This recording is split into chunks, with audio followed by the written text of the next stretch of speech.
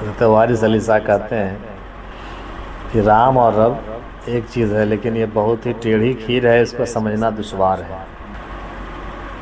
इसके बारे में बहुत गौर करने की ज़रूरत है, बहुत अंदरूनी बात है।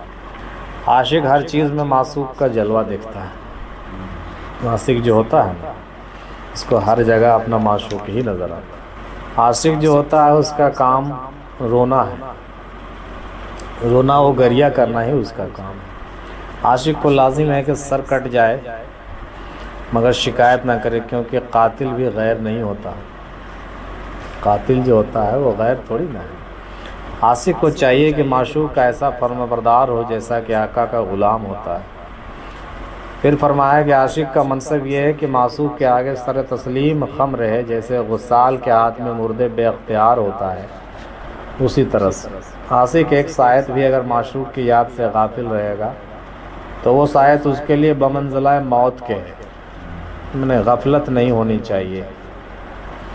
गाफिल नहीं होनी चाहिए। माशूक की अता हो या जफा, आशिक के लिए राज। है मैंने अपने महबूब के तरफ़ से जो कुछ भी आवे, चाहे वो खुशी आवे या गम आवे, उसको बर्दाश्त करना है।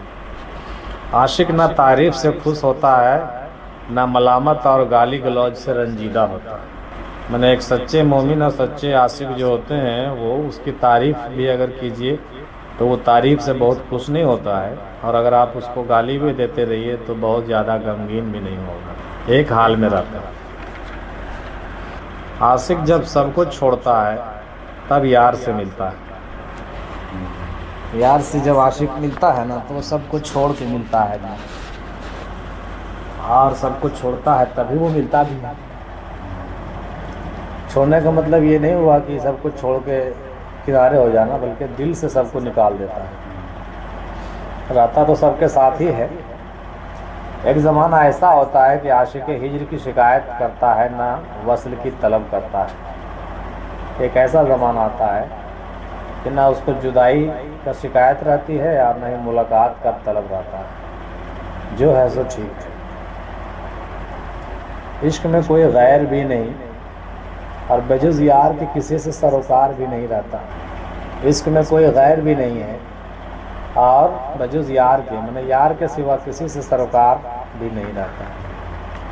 हमको सिर्फ़ उसी से सरोकार है और किसी से। कभी ऐसा होता है कि आशिक शिकायत करता है और मासूक सुनता है। ऐसा भी होता है। ऐसा मत समझिए। कभी कभी जो है, ये सब चलता रहता है। जो आशिक होता है ना, वो माशूक को शिकायत भी करता है और मासूक मुस्कुराता रहता है। जिनका इश्क कामिल है, उनका शौक़, जोश, हयात, ममात, वसाल, फ़राक में यकसा रहता है।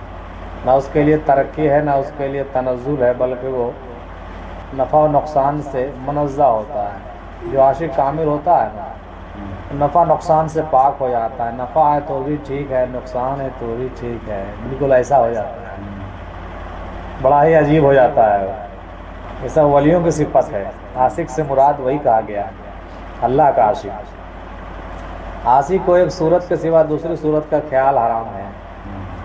जो सूरत जान में कायम हो गया बस हो गया सो हो गया। आपको दूसरा सूरत नहीं आएगा। मोहब्बत किसी को हंसाती है तो किसी को रुलाती है। दोनों बात। मोहब्बत में रकाबत ज़रूर होती है। कोई ना कोई रकीब उसमें होता ही है। बाम हकीकत की कमंद मोहब्बत शादी का। अगर आप बुलंदी पर जाना चाहते हैं तो मोहब्बत के ज़रिए से बुलंदी पर जा सकते हैं। मंसूर की बेताबी ने मंसूर को दार पर चढ़ा दिया। मंसूर को जो दार पर चढ़ाया गया, फांसी पर लटकाया गया, वो उसकी बेताबी ही थी।